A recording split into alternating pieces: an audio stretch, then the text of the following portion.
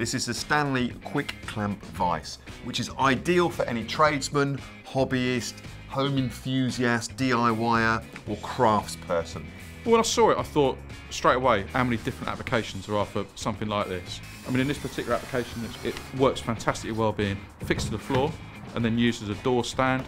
Whenever you need to hold something, you could find a way of holding it with this and holding it securely. Very easy to set up, very versatile. Clamps to any surface. You've got clamps that just go onto here, we just clamped it to our piece of timber. These are reversible, so you can have them on either side. If you'd like to fix it a bit more permanently, there are some pre-drilled holes at either end on the clamps, so you can just screw it down to a desk. Quick to swap over, quick to move, you can set it up in the back of a van in moments. It has removable protective rubber jaws as well, so if you are working with a softwood or you are a hobbyist and you want to protect whatever it is you're clamping, these will do the job for you.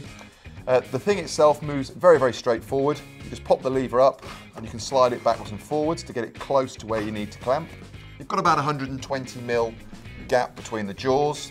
So once you want to clamp onto something, get it close, and then it's just a simple pump action, like so. Vice-like grip, as they say. I mean, I just think that for any tradesman of any description, you will find a use for this. It certainly ticks the boxes in terms of trade use, gets a recommendation from me full stop.